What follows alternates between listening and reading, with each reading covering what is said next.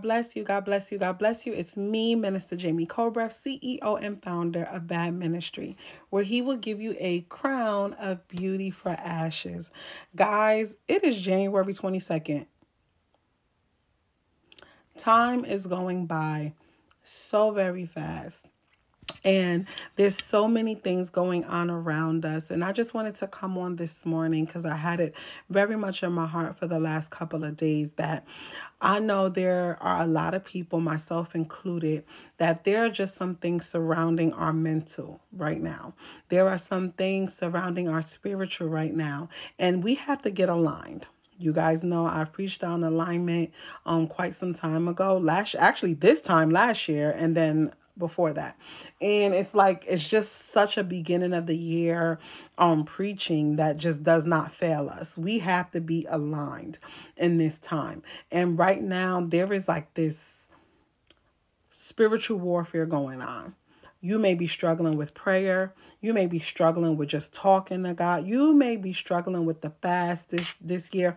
There can be many struggles that are happening, but I'm telling you right now, no matter what it looks like, fight through. No matter what it feels like, fight through. No matter what it, it they're telling you, fight through. Because in this season, God wants to elevate you and he cannot do so if you're not yielding to the Holy Spirit. You have to yield to the Holy Spirit. You have to yield to those, to push through those feelings of, I don't want to, or I'm too distracted. This is not a season for distractions right now. And I'm preaching to myself. You cannot get distracted in this season. You have to know that without a shadow of a doubt, you are going to push yourself to go further. But also understand that it is not your problem to deal with. I need you to understand that God has it under control. He just needs you to yield to his instruction, yield to what he has for you. And as long as you are yielding to his instruction, he's going to move for you. And I just wanted to really, you know, no long message today, just something very simple. Um, let go of the distractions. Give God that first part of your day let's try our hardest because I'm listening. I'm one of them.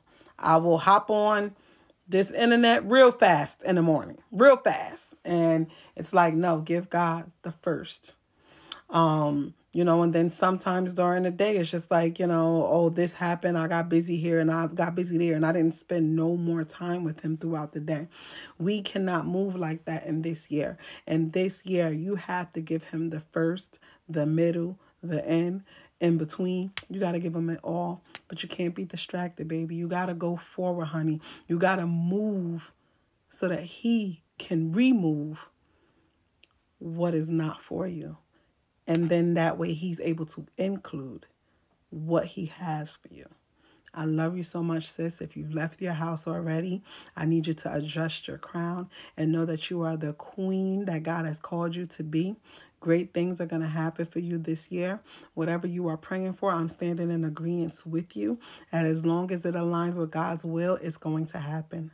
I love you all to life. Have a blessed day.